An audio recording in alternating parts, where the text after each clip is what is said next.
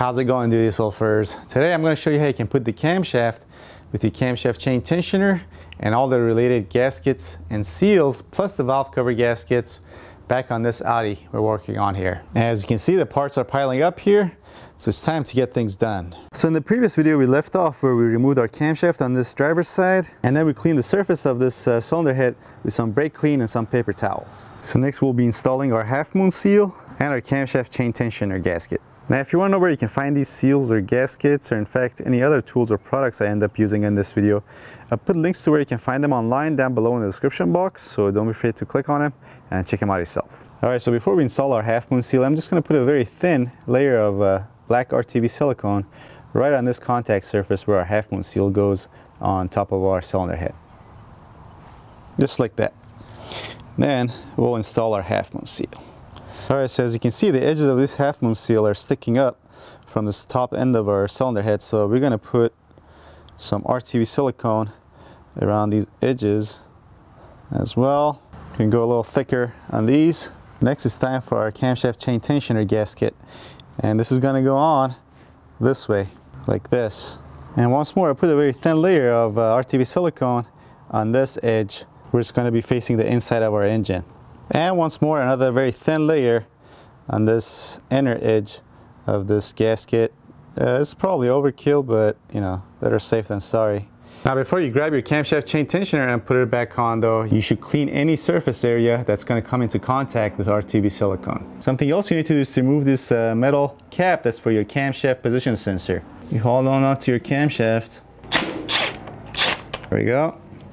Take this out, remove your seal, Grab yourself a new seal, dip your finger in some oil, put it on the inside of the seal and the outside of the seal. Now if you have this dried up uh, oil on the end of your camshaft, it's a good idea to clean that off. You can usually get away with uh, cleaning it with some uh, brake clean and uh, rags. But since this is out of the car and I can limit the area where I'm using this uh, steel wool, I'm gonna just use some steel wool. Then I get to rinse it off thoroughly and make sure none of this steel wool gets inside of our engine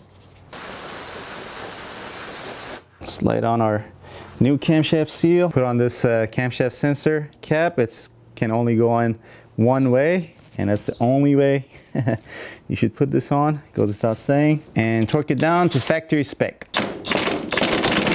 All right next we'll bring everything over and set it down. Trying our best to put this uh, camshaft chain tensioner nice and even. Always easier said than done all right, next we'll run down our bolts little by little. All right, next we'll torque them down to the manufacturer's torque specification, which is seven foot-pounds.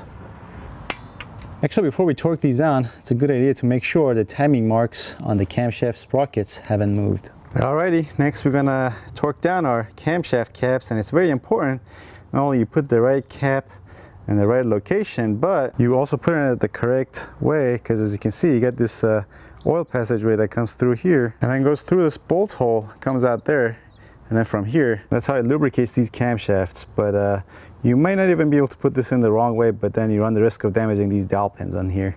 And we're going to torque these going from the center out as we talked about and also make sure you run this special tool for your camshaft chain tensioner all the way down so that you put in a, as much slack as possible so that this end, the camshaft chain is not pushing down on these camshafts so that you can actually put these in even.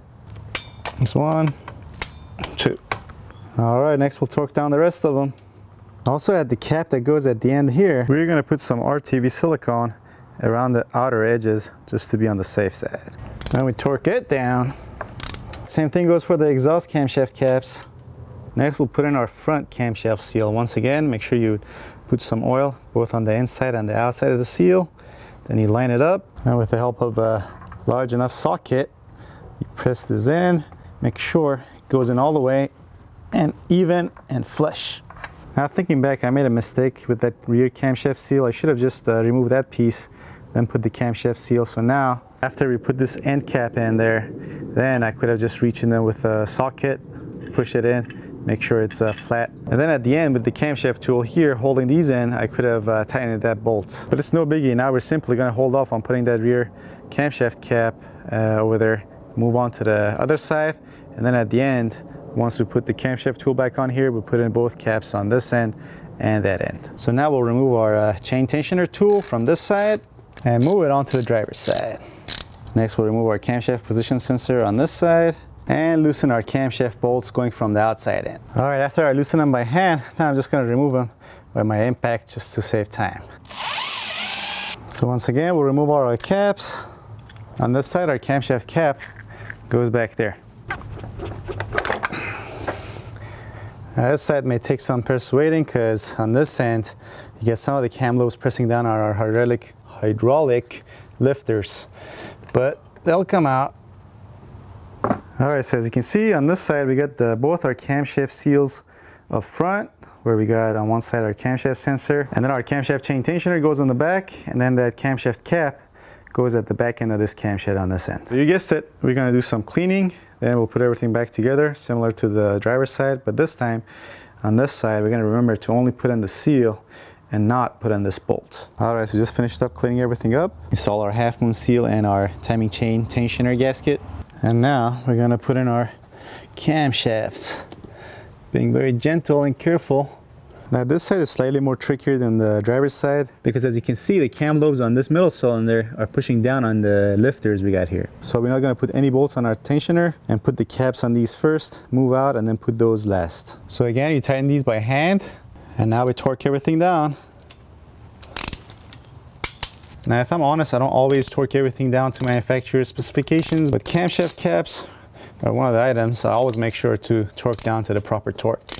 Now, as you can see, our camshafts have moved when we went to reinstall this. This uh, lip should be actually facing more this way so that when we put the special tool on, it's exactly facing the other camshaft, but that's not an issue because actually by since it moved, all the cam lobes move off of the lifters, so none of the lifters are pushing against our valves, therefore none of the valves are uh, potentially hitting our pistons. So we have nothing to worry about. And when it's time to put everything back together, when I get the special tool on this side, we just put it on this, we turn the camshafts, and then put it on the other side and everything will be fine. So now we're gonna put in this cap that goes in the back over there with our camshaft plug that you can see here. So first let's remove this.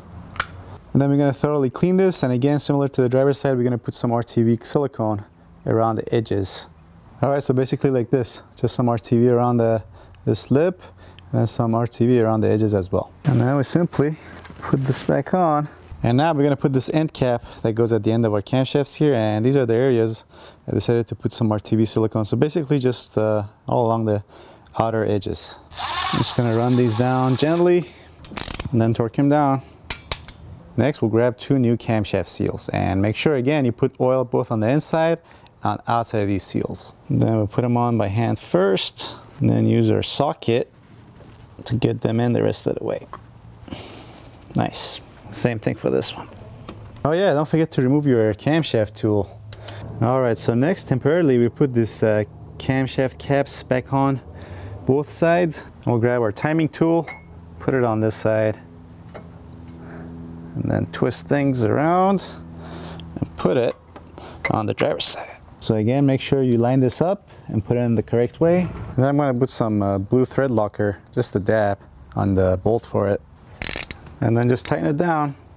Then we're gonna come over on this side. We're actually gonna remove it. Also remove our seal. Next we'll grab the end cap for this side, put our cap back on, and also some RTV in all the right places. Get it back on the cylinder head. Then torque these down.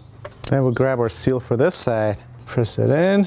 However, in order to be able to use our socket to press in our uh, camshaft seal all the way, there's something else we need to remove first. Just this guy right here.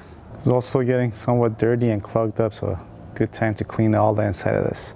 Now we can grab our socket and now we should be able to push in our seal all the way. Now we put this nipple back on. Yep, I'm gonna call the nipple. Next we put our camshaft sensor back on and the one on this side as well.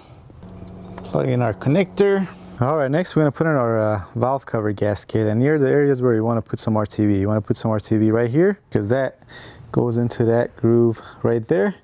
And then you wanna put some RTV in all the areas that are not flat. So this corner right here, you get another one on that side, one on the bottom, and another one on this side. Next you wanna install your valve cover gasket. Make sure it goes in nice and even, flat. Goes in the grooves, obviously. Next, we'll grab our valve cover and throw it on here. And next, we're gonna install these nuts. As always, going from the center out, and the torque spec for these is going to be uh, eight foot-pounds, if I remember correctly. And it's more or less the same thing for the passenger side. Once again, we took everything down. You remember this bracket? So next we'll put it back on. And another tip I can give you is if you ever forget where everything goes when putting the valve covers and all the different parts back on, there's this uh, Ratchets and Wrenches guy on YouTube which has step-by-step -step videos on how to do this exact thing. Yeah, you can go back and watch all his videos and learn how to do this exactly. But before we do that, I'm actually gonna troll this guy because he seems to me like a know-it-all. I'm gonna leave a nasty comment for him. Something very original. Hey, rat chits. You suck. Ha ha. I'll show him. That made me feel important. All right, and next comes our ignition coils. We'll put the connectors on them first. Next, if I remember correctly, we put this coolant hose back on here. And the same thing on this side. Oh yeah, don't forget to put the PCV hoses back on the valve covers. And the coolant hose on this side. Oh yeah, don't forget this side either. You guys have no idea how happy I am that I didn't break any of these. All right, next we'll put in these pipes. And as you may remember, there's only one 10 millimeter bolt holding these in. And the same thing on this side. All right, now it's time to put this hose back on that nipple that goes back there. And as you can see, I replaced the clamp that goes down here with one of these uh, screw-on types. It's gonna be a lot easier. All right, next comes our coolant reservoir. We're gonna remember to reconnect this connector for the sensor that goes underneath it. And as you remember, there are three Phillips head screws that hold this in. Next, we'll reconnect this upper hose and this lower hose as well.